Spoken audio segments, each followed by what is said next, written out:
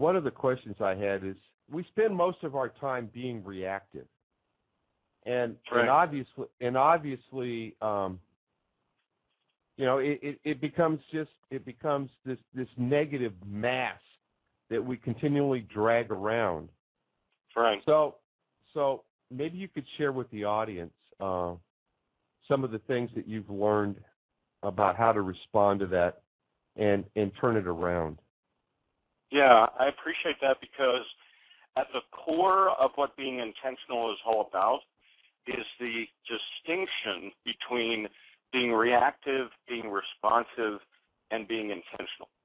And I, I want to take a step back for a second and um, talk about definitions for a minute because I'm a fanatic about people understanding the definitions of the terms that they use or the actions that they're that they're trying to uh, to implement because so many problems between individuals or uh, in relationships come because we may be talking about the same thing using the same words, but our definitions of those words are so different that that's really what we're arguing about. We're not really arguing about the issue itself.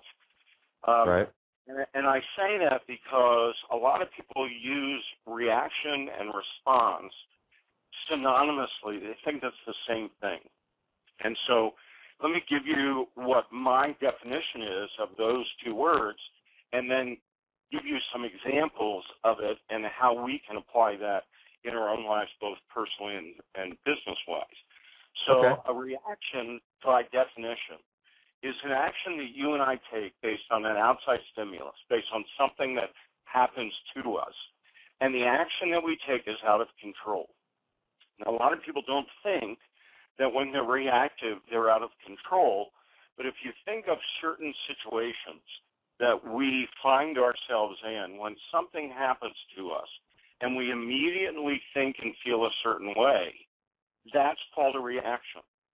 And there's not a lot of thought into it. It's an immediate sort of um, attempt to deal with whatever situation that we're dealing with. And we don't realize until afterwards that we dealt with it in a reactive, out of control way. And what I ask people a lot of times is, have you ever done or said something that you kicked yourself later for doing or saying? Oh yeah, we've all been there, right? Um, yeah. And and when we look at the situation, what we what we sort of see after the fact is that we reacted to a situation, we weren't fully in control of ourselves in the way that we dealt with it, and then we found ourselves kicking ourselves later because we thought of what we should have done in that situation. Does that make sense? You probably relate to that, right? Oh yeah, absolutely. So, so, so that's reactive, and the, the opposite of that, the difference or distinction to be made is to be responsive. So, the definition of being responsive is that it's an action that you and I take based on outside stimulus, based on something that happened to us, and that action that we take is in control. So the way the science of the mind works, the way that the mind processes things, something happens, it creates, whether we're conscious of, about this or not, it creates a thought about that situation. That thought creates a feeling, and the feeling creates the action.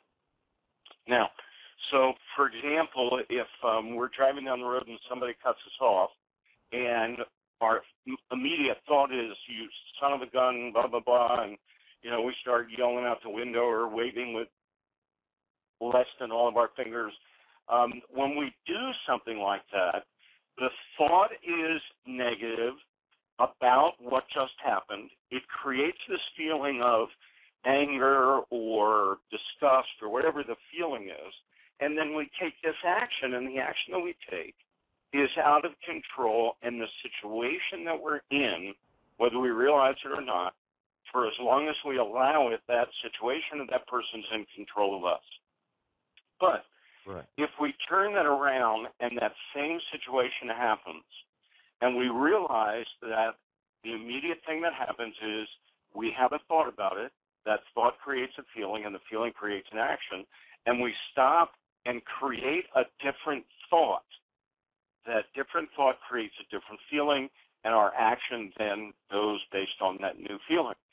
So, because we've changed our thought, what action that we took is now responding to the situation, and we are in control.